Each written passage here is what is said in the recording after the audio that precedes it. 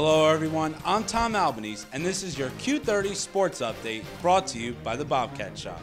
The Quinnipiac men's hockey team defeated the Crimson of Harvard University 3 2 on Friday night. The Bobcats struck first as Alex Barron passes up the ice to Tim Clifton, and he finds Braden Sherbinen, who slaps the puck straight into the net, giving Quinnipiac an early 1 0 lead. This time the puck goes out to Devon Toews, who takes the long shot.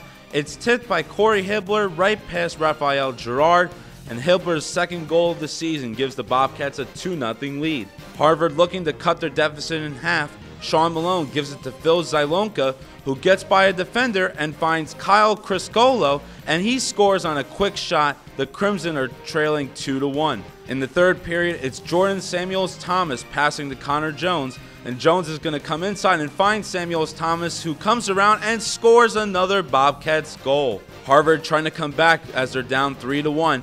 Clay Anderson takes the puck for the Crimson. No Bobcat defenders are coming to challenge him, so he takes advantage by finding his teammates on the inside. Jimmy Vesey tips the puck past Michael Garteig, and that brings the Crimson back within one. Harvard did have a couple chances in the final minutes to tie it, but Garteig was there when the Bobcats needed him the most. He finished the game with 31 saves, helping the Bobcats to a 3 2 victory over Harvard. That concludes this Q30 Sports Update brought to you by the Bobcat Shop. Be sure to like us on Facebook and follow us on Twitter at Q30 Sports. Also check us out on YouTube at youtube.com slash user slash Q30TV. I'm Tom Albanese, Q30 Sports.